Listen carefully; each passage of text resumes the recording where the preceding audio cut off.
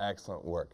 Especially during the lion and the mouse scene, is are they supposed to just be talking to each other like normal people talk to each other?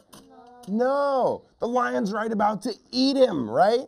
The little mouse is trying to get away. The little mouse is so scared.